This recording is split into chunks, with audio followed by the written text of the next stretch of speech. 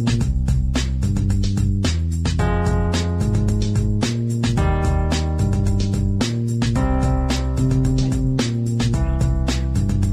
to the Age of Fission radio show with your host, Lonnie Clark.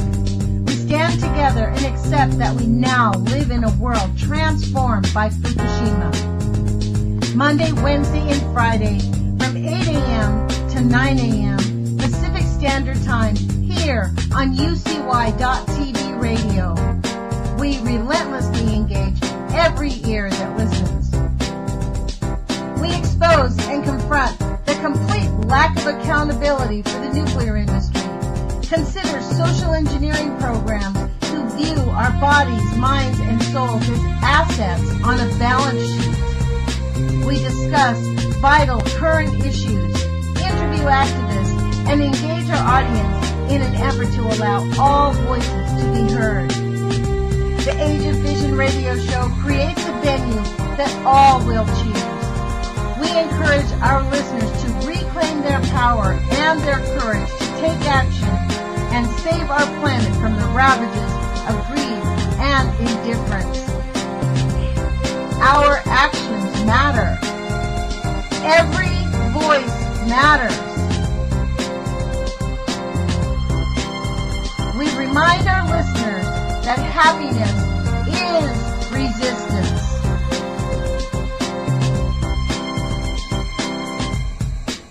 Love is greater than fear.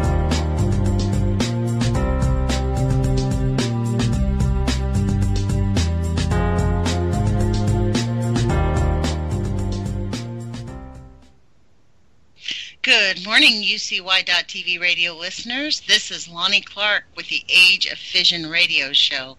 Thank you for joining us today. It is, can you believe it, August 8th, 2016, how it flies by. This is Monday, and as you know, I like to interview activists and discuss the situation in St. Louis. Today we have the great honor of having uh, Kay Drey from Beyond Nuclear and a St. Louis activist who has devoted much of her life to uh, really rebalancing the processes of life. And uh, thank you, Kay, for joining us. I'm thrilled to have you with us. I'll introduce you right away. Well, thank you for inviting me. Yeah, well, right before the show, we were talking about your uh, little speech uh, that you gave last night. You were asked to give a speech uh, at a Hiroshima Nagasaki memorial in St. Louis. Is that correct? That's right. Yeah, at, at the uh-huh, at the Ethical Society. It was it was very nice. Ethical Yeah. society. That is what we need is ethics. That's I mean this issue about the n- pollution, not just nuclear, but all of the pollution that is really just part of what I wanted to ask you about because I know that you were a civil rights activist, correct? Before you Right, got involved uh-huh. in this. I have long felt that this is a civil rights issue because our civil rights have been taken away from us. We never were asked about this. I mean, right. so perhaps you could talk about what you said last night because it sounds like we were sort of in the same vein of thought uh, somehow on this one. Well, right. I guess that la- we were taking note of the Hiroshima Nagasaki monstrosities, really. Um, and in St. Louis uh, has the unfortunate distinction of having some of the oldest radioactive waste of the atomic age. We purified all the uranium that went into the world's first self-sustaining nuclear chain reaction under the football field at the University of Chicago. Um, and this in and in um, then this of course led to the creation of the atom bomb. And and I think people were happy in in the United States when they they actually dropped two bombs on Japan which was you know we thought that was great victory at least when I was a child. And and you know we know more now about how the terribly terrible devastation and I guess when I was growing up, I was a Jewish child living in a neighborhood where there were just Protestants and and some Catholic people and and the kids in the neighborhood. I was in the second grade and they tied me up to a tree and threw snowballs at me because I had killed Christ, whom I had never heard of. Oh my and gosh. it was it, it was very terrifying to me. But growing up with a lot of children who were actually religious Protestants by the most in the most part, and I ended up going to Sunday school with them sometimes. My friends, they became my friends, but it was, you know, it was a real experience, and seeing how people could. Uh, t- treat other people, you know, was really frightening to me. And I remember when they tied me up and threw snowballs at me. I ran home and hid in my little bedroom. We were renting a little house for I neither of my parents had ever lived in a house before and we were very excited. But it was very devastating for me um to you know, I didn't understand what it meant about being Jewish and that these very Prote- religious Protestant kids thought it was awful that a Jewish person had moved into this rental home on their block. And so at any rate i so i sort of had to understand minority attitudes and and what it means to be not in the majority. And i ended up being interested in civil rights and working with black people who were not able to get housing not able to get jobs and so forth. And i majored in college. I majored in anthropology, cultural anthropology, to try to understand more about prejudice and what could we do about it. And I worked in civil rights, helping people get housing and so forth and jobs for many years until I then found out about nuclear power, which was and nuclear weapons really too. Um, that was you know an, an assault on on all living people, um, regardless of race or religion or background. So I guess they kind of all work together, and and I think we just have to learn how to have people get along and how to have a safe environment in which we can all live in our in our country. You know, one of the things I think we really need to relearn is how to face it. So many people, in fact, I lost a, a, dear friend of mine this weekend told me, you know what, if you can't stop talking about this, I don't ever want to discuss it. Like, I don't know how people can go their lives and not discuss the nuclear contamination that's enveloping our planet. For me, it's a statement of humanity to discuss it and be willing to face it. Right. And I guess when I spoke last night, um, because we were commemorating the bombing of Hiroshima and Nagasaki, um, I I in in in St. Louis was where they figured out how to purify the all the uranium that was how to purify uranium to make atom bombs. And everything was, of course, done very secretively. And I guess when I, as I, we're trying to get still some of the radioactive waste that was dumped all over various places in St. Louis, and we have one site that is still not yet cleaned up, and they're pretending they can just leave some of these radioactive waste from the 1940s and 50s that were processed here in St. Louis. They think they can leave them in the floodplain of of the Missouri River, and which is just crazy. And they they should be dug up and taken somewhere dry and away from people. Actually, if there is such a place, and I think I guess we, you know, when when the atom bomb was created, and then and I was a child when they bombed Hiroshima and, and Nagasaki, and How everyone. in, you? Well, I was born in 33, 1933, so it was 45, 1945. So, So that must have been very hard for you post World War II as a Jewish child in America, because there was a lot of prejudice against German people and the whole that whole thing about all of it. Like there, you must have really suffered quite a bit emotionally. Well, it, it made me, you know, sort of realize because I was surrounded by Protestants, and some of whom were particular, very religious uh, Protestants, and it, I think the more religious they were and committed to their churches, it seemed to me the more prejudiced they were. Um, but at any rate, they became my friends, and and st- st- some still are to this day, although we're much much older.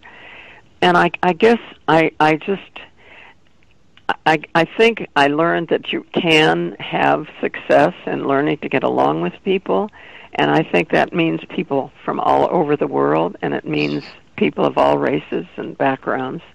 we just have to learn to do it. We think of our world as being great big, but it, it's one world, one bunch of air, one bunch of water, basically, and and we have to protect the planet, and we have to protect all the people within the planet.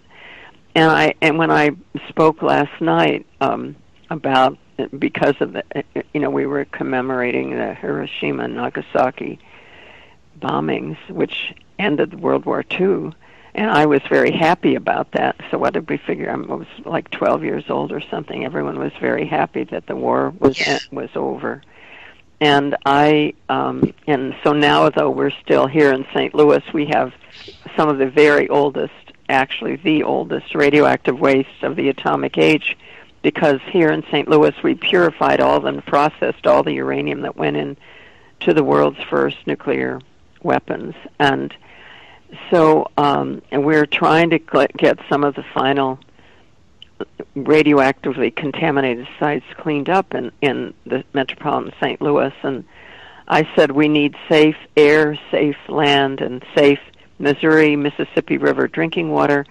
70 years ago, I was, this was from my talk last night, 70 years ago, we dropped radioactive poisons on Japan. Now we must remove these same permanent toxins those that we used to kill and hurt so many Japanese people, we must remove those away from our St. Louis human environment. So we have these same, you know, we have these contaminants left over in various places in St. Louis, which we've been cleaning up, and there are also contamination from nuclear weapons production um, and explosions uh, elsewhere. And you know, all of these materials must be cleaned up, and of course, that also includes the same kinds of poisons that they are creating at nuclear power plants and nuclear weapons plants. So we have a lot of work to do and but we have to be hopeful that we can all get together and understand that these cleanups must happen and believe in trying to have a pure clean planet again. We just have to work on that. Yeah, I agree with you. We have to believe that it's possible that we can remediate, that we can recover. Because right now, I think that's a lot of the sentiment among the people that I talk to. That's why they don't want to face it. They don't believe that we can actually recover. They figure, well, we're just going to have to deal with it the best we can instead of. I really believe that once we face this, I mean, we've had 70 years of the nuclear industry and 100 years of the chemical industry just denying and ignoring and refusing to make an effort to spend money to remediate and to reverse the negative effects of the environment. They've just not just kicking the can down the road. They kick the can and then bury it with dirt. You know what I mean? Like that's been their method. of. That's in fact what caused Westlake landfill. They just buried it with dirt. Literally. Right. And I mean that is obviously not the correct answer. yeah, they they really you know because we St. Louis in St. Louis the Mallinckrodt Chemical Works people downtown on the along the Mississippi River figured out how to purify tons of the tons of uranium that were needed in order to make nuclear weapons and then they they began generating these horrible toxic materials in 1942 and continued here in metropolitan St. Louis uh, for 25 years and li- leaving behind a lot of radioactive waste and and I guess in in a lot of cases um, they did these things in areas where they either thought you know they didn't do them like in in fancy neighborhoods for goodness sake, goodness sake but they also didn't even admit that they would be contaminating. In the case of downtown Mallinckrodt, first they contaminated the Mississippi River um, from runoff from the factories and releases, and then then they moved some of the waste out to be along the Missouri River, and you know we treat our rivers in our nation and our world in many cases as you know places where we can dump poisons and we we think of our air you know we release things poisons into the air gases and particulate materials and as if we think you know this air is somehow going to going to be clean but it isn't so we just have to try and appreciate our planet and honor it and not keep contaminating it. And I think the public has been working on these issues, and I think they should feel hopeful because I think more and more people are recognizing um, how important this is to have clean air, clean water, clean land. We have only one planet that we're sharing with one another. You know what's really astounding is that we actually that our government created these say this whole process this was a government project the manhattan project in st louis this was not a private industry issue this was a government project and i'm just dumbfounded that even you know in the last month your own senators voted to defund the FUSRAP. Like they, instead of standing up and saying, "No, we're not passing this budget.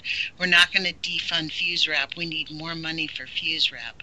That just I, I have reduced say, reduced the amount. I I, I don't think they, they, they, they yeah. didn't. Yeah, they didn't. They, they didn't, didn't increase it. What we need is yeah, we needed. Redu- they reduced it. They re- and every year it's been reduced since 2010. When in fact around 2000, you know, in 10 and in 2011, they knew for a fact that you guys had an increased awareness of a situation that caused an emergency in St. Louis. It, I, I find that to be a, a gross uh, violation of our civil rights, if you ask me, because we don't Well- have a we don't we have a right to life, liberty, and the pursuit of happiness in our country. And as John Gofman said in his book, The Irreverent Guide to Nuclear Power, you know, that has been robbed from us. Because we Right. can I mean, and this is where I'm just like I I I want to urge people that we can make a difference. That it does matter if we not just you know, this is what I wanted to ask you because you you began in this awareness like it started in 1942 when you were just a young kid. So by the time you were a young woman, and at what point did we realize in our society that these nuclear power plants were harmful? They didn't tell us for 20, 30 years that they had this waste, did they? I mean, at Yeah, what point they- no, we become aware that these things were dangerous? Right. Well, by the time they began talking about the building, uh, they wanted to build two reactors in Missouri, and you know, by then we we knew that they were. Many of us knew that they were dangerous, and people in other parts of the country had been trying to get their nuclear plants shut down. And I guess I began paying attention to the fact that any nu- every nuclear power plant releases radioactive long-lived and very dangerous radioactive materials into the air and into the water. Um, you know, as a part of the routine operation of the plant, and so that and and that we really have no place on the planet Earth to put the radioactive waste that we're generating. You know, the, to keep it away from the air and water and land that we need to survive as as members of the, of the world. And so we just I just think that we no one really told us that every time there's a nuclear power plant operating that it is routinely releasing radioactive hydrogen into the called uh, water radioactive water with radioactive hydrogen in it and that's called tritium that it's released into the air and into the water wherever they're getting their cooling water for the power plant around the clock. They cannot filter these materials, and therefore they're not required to filter them. They have they can filter some of the radioactive poisons that they generate at, at nuclear power facilities, but they can't filter all of them, like radioactive hydrogen or tritium.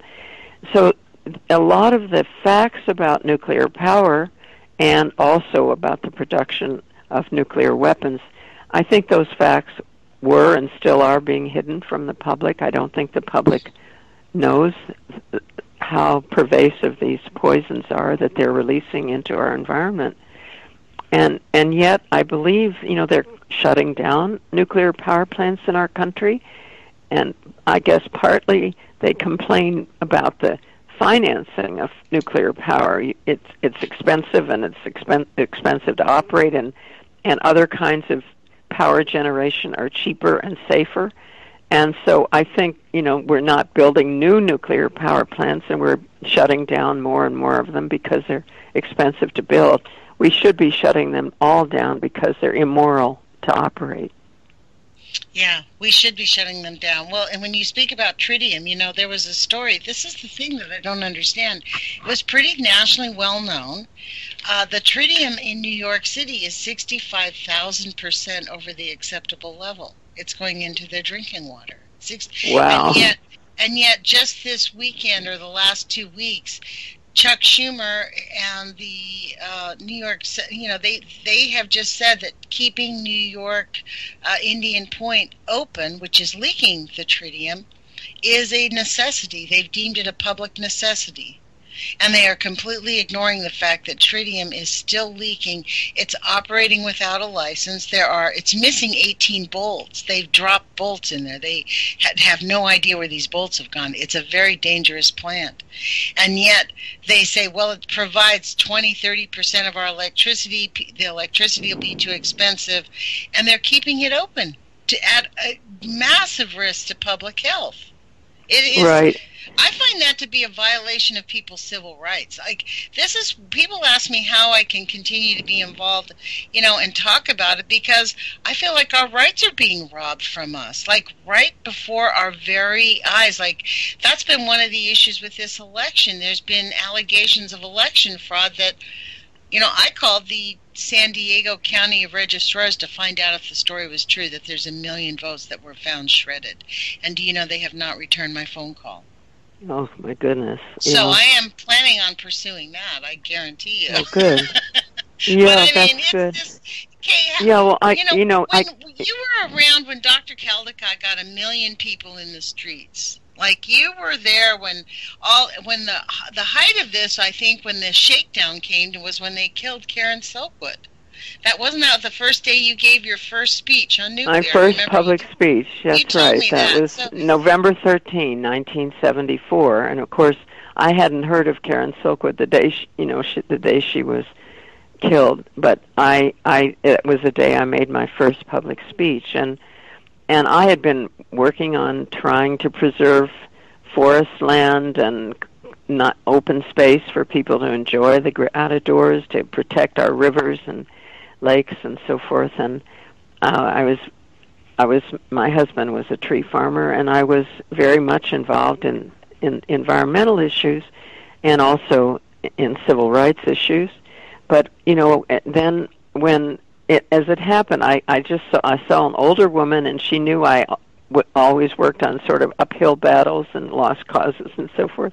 And she asked me one night. She said, "Are you going to be speaking at the hearing tomorrow?" Which was November 13th, 1974, and there was to be a hearing about should we have a nuclear power plant in Missouri, and it was a hearing before the St. Louis County Council. And I had thought about going and speaking, or at least I certainly wanted to attend. And I did speak, actually. That was my first public speech on nuclear power. And I decided that I would stop working on civil rights, which was what I was mostly doing, and and just work on fighting against nuclear power because the more I read about it and the radioactive waste that is generated around the clock uh, at every nuclear power plant and is also generated when they make nuclear weapons uh, as well. But I, you know, I thought it doesn't matter if we if we have a a, a clean a a nice you know planet if if we can't drink the water and if we can't you know live safely. So i've been fighting nuclear power ever since. And and we just it's not an acceptable technology. It's very expensive which is why some of the uh, wiser electric util- electric utilities are shutting down their plants now in the United States and they're not building more. There are a couple plants under construction but I don't think they'll ever be completed in this country. And so, you know, I think we can be hopeful to that extent. But also, you know, the fact that we've been generating these awful radioactive materials, and like my favorite isotope, I call it my favorite, which is tritium, which is radioactive hydrogen.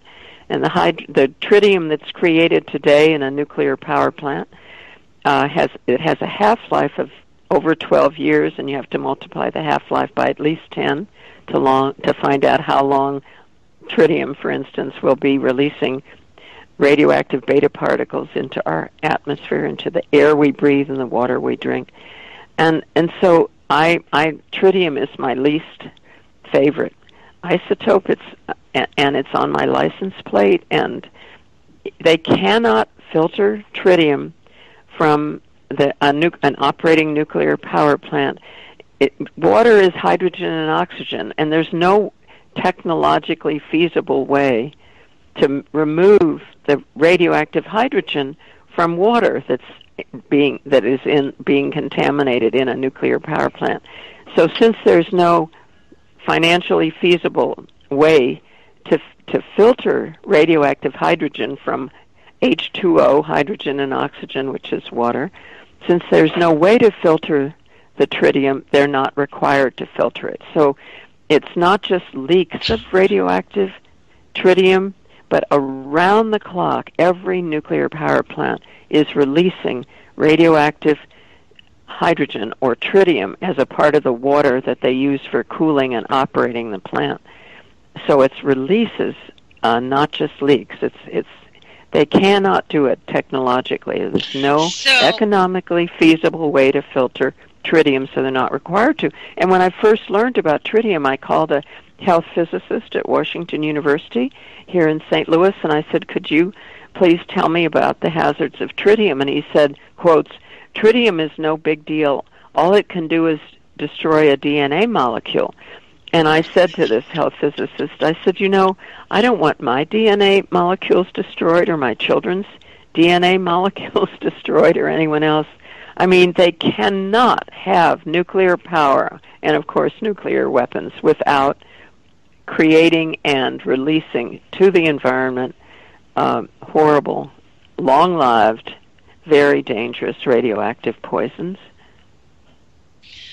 Well, look, isn't yeah, so wait, this is the I, I'm sort of dumbfounded with the information you just unloaded on us. So to be honest, like, but uh, you know, when they say that the amount of tritium, the uh, quote allowable levels of tritium that are allowed, it's sixty-five thousand percent higher in New York drinking water. So what you're telling me is that they've allowed tritium going into the like in yours you have the Callaway nuclear power plant that ended up did getting built right on the Missouri River that seems to flow down through St. Charles, Florissant, and into the Mississippi River. Is that correct? And into St. Louis, yeah, we drink that Missouri River water that comes from the Callaway nuclear plant. And we were going to have two reactors, but then we did a statewide petition drive and vote, and we said that we would not pay for the construction of any power plant uh, until it was operable and used and used for service. So at the time when we started the petition drive to put this on the ballot and then had the vote at that time, they were planning to build two reactors. So we did kill one reactor. we only they only built one reactor, but every nuclear power plant uses lots and lots of water uh, every minute. That, that's something like twenty thousand gallons per minute, something wild. And and and they take in you know water hydrogen and oxygen, but when they release the water and use it for for cooling purposes and so forth in order to run a nuclear power plant, but that water, that the re- the hydrogen becomes radioactive and has a half life of 12 years, which means it'll be around at least for 10 times that long, which means like 120 years. So the tritium or radi, pardon me, Um, the tritium has a half life of 100 of 12 years, and you have to in order to find so in in 12 years, half of the tritium that is created will have been um, given off. It will have given off its beta radiation particles.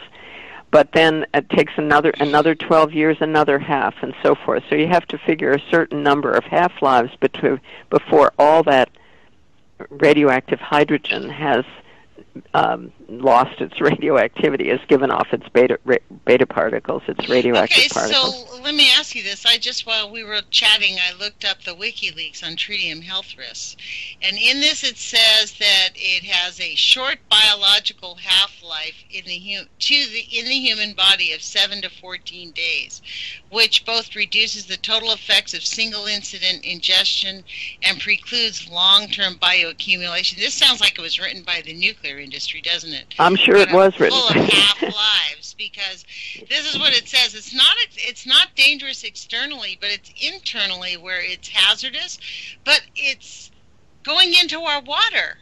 That's right. It's going into our drinking water and into into the air we breathe as well. In other words, there's tritium in the radioactive steam. When you see a cooling tower at a nuclear power plant, you see this very impressive steam coming out of the top of the cooling tower. That has tritium in it. And that tritium, which has a 12 year half life, which you have to multiply a half life by at least 10 to figure out how long it'll be before a particular bunch of tritium, let's say, give, has given off its radioactive particles. So the tritium that is going into the air and into the water from an operating nuclear power plant, a tritium molecule will have, or atom will have a 12 year half life, but you have to multiply the half life by at least 10. I used to be taught by at least 20 to know how long, you know, a particular amount of radioactive material will give off its radioactive particles and rays. So we they generate a lot of tritium in just a regular nuclear operating nuclear power plant. Some of that radioactive tritium is released into the water, into the lake or ocean, where they're getting a river where the, from which they get their cooling water that they need a lot of to operate the plant. So they take in a certain amount of water every minute, and some of that water becomes radioactive while it's in the plant, being you know used for cooling, and then some of that radioactive water is released as water back into the river, lake, or ocean, and some of it is released as steam into the air and settles on the ground.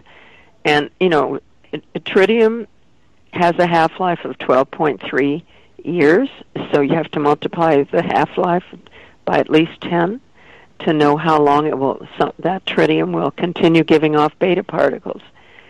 So, you know, tritium, that's why I guess it's when I began finding out about it. And you know, when I maybe I said this already, but when the health physicist, I think I did say that, he said, you know, Mhm. tritium is no big deal. All it can do is destroy a DNA molecule. Well, you know, it is dangerous, and it is not something that you want people to have to drink, and farmers to to put have to put on their fields and crops, and so and it's just one of hundreds of different kinds of horrible radioactive materials that are generated in a, every operating nuclear power plant, and also that we have, of course, when we have nuclear weapons to worry about. You know, those are the same kinds of radioactive poisons that are released into the environment. I have to say that I am just like, as I listen, I'm just feeling completely dumbfounded, and it it what brings to my mind is that every a our government is fully invested in nuclear producing nuclear waste period they they have produced so much of it that at this point they're choosing to ignore it and second the way they've handled to ignore it is everything opposite as an american i was raised to believe we stood for I honestly like for me. I guess this is where my outrage is. Uh, like thinking about this in a civil rights way. This is, I think, the facts really are to me at this point meaningless. We have Fukushima going on for five years, and we've discovered that we have had a nuclear monster growing in St. Louis of a magnitude that we have not even really looked at. Like we're just now beginning to see it, and we're living with the uh, health risks of a massive experiment that has failed. That we are now paying scientists money to figure out a way to keep it going instead of like turning it down. Do you get what I'm saying? Like it goes against everything in my mind that as Americans I think that we are. I'm- Right. It's it's it's disheartening, really. I think most people think that, let's say, nuclear power plants are dangerous only if there's an accident. They don't realize about these routine releases of poisons into the air and into the water. And this is, you know, there's a certain amount of water on our planet, and and there's a certain amount providing drinking water for us here, in let's say in the United States. But you know, we're these these nuclear power plants and nuclear weapons production plants are producing these radioactive materials for which there really is no good place to isolate them. And I, I just wish there were more honesty from the federal government about that. And I wish the citizens could have a chance to say, do you want to keep drinking, let's say, Missouri River water or Mississippi River water or water from the Atlantic Ocean or water that's been contaminated by Fukushima and so forth? We, we should they should they should say, "Do you want us to keep doing this? Do you want us to keep contaminating the limited amount of water we have on our planet?" And I think that I just cannot believe that any Americans would say, "Yes, we want to continue generating these materials." These are man-made radioactive wastes. That's what we're generating. We don't have to do that, and we should not we should not do it. And I think if the public were given the facts, they would not would not want to do this to our planet, to our people living here all over the planet, and and other animals and plants.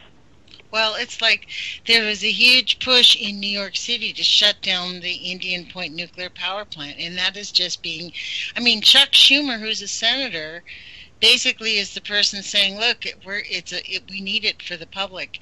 In your own state, uh, Claire McCaskill, who I contributed money to to elect, vote just voted to cut down the FUSRAP budget. Like she said, she gave she gave a yes vote on that so that the budget would pass out of pure pressure. I am sure. I mean, it's beyond comprehension that our elected officials go to Washington D.C. and get so disconnected from the trauma that's going on in their own states. It's it's unbelievable. Right. I I don't. I guess I hadn't somehow that fact passed me by that she voted to re- reduce the food the, the the budget that we need right here in St. Louis, for example, right. to remove radioactive waste that were generated during World War II, some of the hottest radioactive waste anywhere, and we had them dumped illegally uh, at, at a, in a landfill in the Missouri River floodplain. So, you know, they're in contact with the Missouri River water and it goes into um, into the, the drinking water that we have here, but then on into the Mississippi River and so forth. Well, how often I, have you guys been flooded since the since those things were dumped? I mean, oh well, we have we have the Missouri River floods. It floods. It's one of the most flood-prone rivers on the planet. Right. Yeah. It so there's a lot of flooding uh, because it's in the floodplain. You know, there aren't houses there. We had a lawsuit actually. We were successful to a certain extent. They were going to build a new town in town right near Westlake landfill uh, in the Missouri River floodplain, and we had a lawsuit. And unfortunately, we couldn't stop them from building a certain amounts of oh, like warehouses and stuff in the floodplain. But you know, floodplains, people need to study them. They need to find out about them in their own communities. You know, where where are their rivers located, and where did the where do the rivers flood, and so forth. So we have flooding here. Missouri River floods tremendously all over the country. So I don't know. I just and I guess sometimes I feel sort of helpless, or that you know it's such a huge uphill battle. But more and more citizens are expressing concerns about having clean water and clean air, and and I think they should just keep more. Many people are working on these issues, and I feel hopeful in that respect. You know, is that more people become informed, um, including young people, or particularly young people. I feel more hopeful that we can have some some help for all this, um, and that we'll get the government to understand that we shouldn't be allowed to contaminate the Missouri River and the Mississippi River and and I just still can't believe that there is a nuclear power plant that Indian Point in New York City, you know, is right there contaminating the Hudson River. I mean, Indian Point is dumping Million, millions of people. Millions. Yeah, millions. that's right. Sixty-five thousand percent. This story was written in February. I was like, I couldn't believe it, and now. What did you say? Sixty-five thousand. What? Percent over what they say is the allowable limit exposure. Yeah, well, the allowable limits are not humane either. we Right. shouldn't have any allowable limits for tritium, for instance. Well, but what's going to happen though is ultimately, you know, we're going to see ink just like we saw in, uh, and it goes uncounted, just as in Bridgeton, just as in in St. Louis, people are going to have birth defects. They're going to have cancers, and no one. Since our government, I think this, frankly, this is one of the reasons why our government does not want single payer health care. Because if we had single payer health care, oncology reports and oncology statistics would be readily available. We could track where the cancers are. We could easily, because it's so, you know, it'd be all on one system. Right now we have it disjointed. Nobody keeps track. Like people in Yeah. New York City are going to see a spike in cancers, birth defects, things like that, that no doubt, and, you know, autism, a bunch of things that, frankly, they get to use as like assets on a balance sheet. We pay them for our health insurance, and then they squeeze every last dime, and then they go to the government and keep squeezing. It's, it, for me, it's just so unconscionable. This is why I, I can't. It's a civil rights issue. I just can't get off of this idea that how people can just allow our rights as citizens and as human beings on this planet to just be stripped away by uh, industry, by an entire technological system, not just nuclear, but just the whole system of refusing to face that they are causing harm and just allow them to continue to deny, deny, deny. It's like, at what point are we going to demand honesty out of the scientists? I mean, I have a protest sign, Kay, that says, when scientists lie, people die. Oh, right. Well, it- or when they're silent, you know, when the scientists are silent, when they know these things, um, you know, that's another way of. You have But been then at this so long. I have to thank you so much for your diligence for this. And, you know, it beyond nuclear, it's like you guys have, have been the stalwarts, like sort of the. There have just been few. When I first found out about the nuclear thing, to be honest, I was stunned. I had no idea. And I. There are just not a lot of people who are willing to hang together to keep doing this because the fight is so hard. Like, it's not just from the government, people don't want to talk about it. Right. They don't want to talk about it, or they may feel like with me, I don't have a science background. I have a bachelor's degree in cultural anthropology because I was interested in race relations and happened to love Native Americans, American Indians, have all my life. And so I didn't, I don't have much science background. Um, but I think I'm just hopeful. You know, I am on the board of an organization called Beyond Nuclear out of the Washington D.C. area, and we try to give these in, this information to the public, and other volunteer organizations do the same. And I think the public is becoming better informed, but I think you know, like with when you mention Indian Point, and you know, as I said, I just find it impossible to believe that many people in New York City know that the Hudson River is being contaminated by the Indian Point reactor around the clock, and the air they breathe also has, you know, my favorite isotope, tritium, radioactive hydrogen. Is that's going into the air that New York City people are drinking? I'm sorry, are breathing, and into the Hudson River, and into you know other bodies of water that we're you know we're doing this to our planet, and it's it's not necessary. I'm very hopeful about various clean energies that are being generated and people you know I I think I think and I think there's more honesty about contamination so I'm hopeful or or I wouldn't work as hard as I do I think I think I think those of us who work on uphill battles are basically optimists or we wouldn't be Yeah. True. You know, we're we're we're we're hopeful, and and that's what we're doing. But I I guess I you know I I think we just we just we have to keep trying to let people know what the what the what the facts are but I don't understand even how anyone can work at a nuclear power plant or and now we're not only you know we're not only still operating a bunch of reactors here in the United States but we're we're making more nuclear weapons and I find that also to be so absolutely unacceptable in Kansas well, City, Missouri. The, the, the reason is is because the people that are working there, Kay, genuinely do not believe that it's harmful. They are convinced that we are misinformed and being upset over nothing. They look at their community and they say, yes, we have higher risks of cancer, but we have a really great medical industry that can save most of us.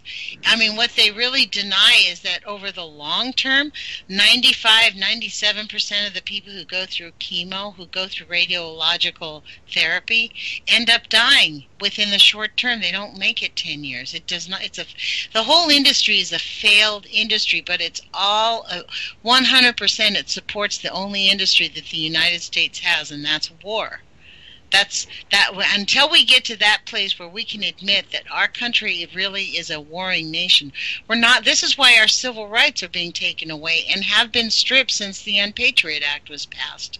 All of our government passed the Patriot Act, the NDAA. We now get spied on.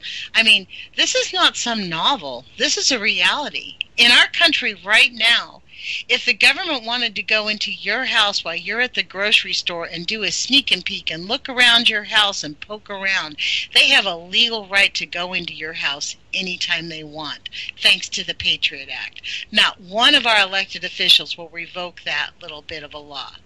In the name of security, they have taken away all of our liberty. Well, we just have to, I guess we have to somehow remain hopeful that people like you who are putting programs on the on the radio that people can hear and think about. Uh, I, I, you know, I, I guess we have to maintain hope. And you actually, you may sound like you don't maintain hope, but you you wouldn't I be do. working so hard with your radio program and other efforts that you do if, if, if hope, you weren't hopeful. That's right. If You are hopeful. Hope, if I didn't have any real belief in the future, and really, especially as an American, I really love our our Constitution. I go back to our Constitution. We have a framework that has been ignored and legally challenged, and it is time for us. This is why, I, frankly, at 60 years old, I'm in college and I am going to school to become an attorney. I am going to work on revoking the Price Anderson Act. That's how, for 70 years, they have gotten away with literally bloody murder. And what they're doing in St. Louis, they're passing the ball around as a foundation based on the Price Anderson Act. It can't be used as a its foundation because it's a fundamentally a military project, but they still are using it as a reference, and it is an unconscionable thing to think that we have a legal right to destroy our environment and take away people's civil liberties for the protection of the homeland. Like it's like I told Ron Wyden, he said, well, he couldn't talk to us about Fukushima anymore because it's been deemed a national security thing, and so it's under the Patriot Act, and they can't tell me about it. I said, so you're telling me that you guys have deemed Fukushima to be a threat to our country, but you can't tell me what the threat is. You can't talk to me about any of it. They said, no, ma'am, we can't. I, I, I said, you know what? It is time for you. I said, I would like the senator to break the unpatriot. I call it the Unpatriot Act. I refuse to be respectful and call it the Patriot Act. It's the Unpatriot Act. And I think I said, you know, if he got six or seven senators who refused to keep, who broke the silence, they're not going to throw all these senators in jail. They're not going to mm-hmm. arrest them and put everybody in jail. This is what we need. We need conscientious objectors at a high level. Like for me, it is unconscionable that Edward Snowden is considered a criminal and that Chelsea Manning is considered a criminal. They are heroes in my book as far as Americans go. Uh, I'm just Well- dumbfounded that we're supposed to protect murderers. Right. Well, I I think we should we just have to maintain a little bit of hope, Lonnie, that people like you who are trying to get these facts to the public, I think they are making a difference. I think young people um, ha- have been hearing things that make them more uh, reflective and and cautious about what they believe. I don't mean all young people, but there are. I think there's an increased awareness among the American public and people elsewhere in the world. Uh, they're willing to listen to both sides of a story. Um, it's just unfortunately that our side that is working for a clean environment and clean air and water and and land, um, you know, I, we don't have equal access to the public. That's unfortunate. You know, we don't have enough media people like you on our side to give the facts to the public. But I, I'm, I guess I'm basically hopeful that young people are finding out about some of these secrets that we've kept from our people. Um, Me too. I and I think that many of them are, are willing to go. You know what? We don't have the answers, but we need to start looking right now, and I, that encourages me because that is the way out.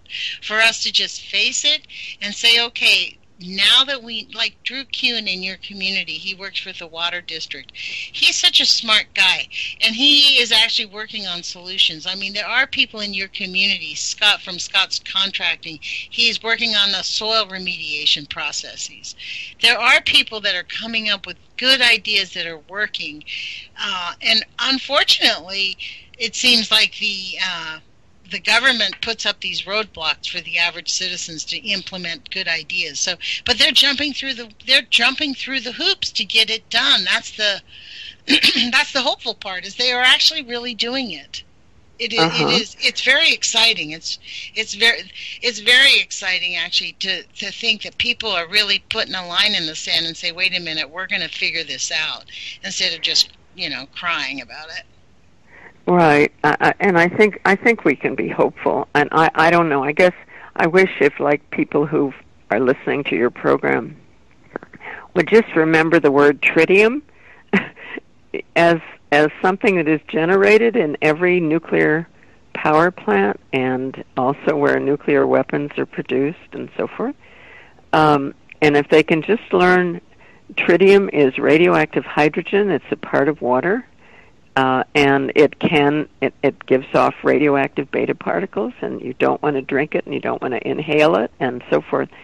And that we can, and they cannot have nuclear power plants without releasing tritium into the air and into the water around the clock. And so people who are drinking water that is downstream from nuclear power plants, they should be protesting and saying we want them all shut down such as the people in New York City who are living near and, and downstream on the Hudson from from the from Indian Point. You know, we've got to just let people know just a few of the facts about why these technologies, nuclear power technologies and nuclear weapons, why these are so dangerous. And we're making more nuclear weapons, which is just simply unacceptable. We we're trying to shut down.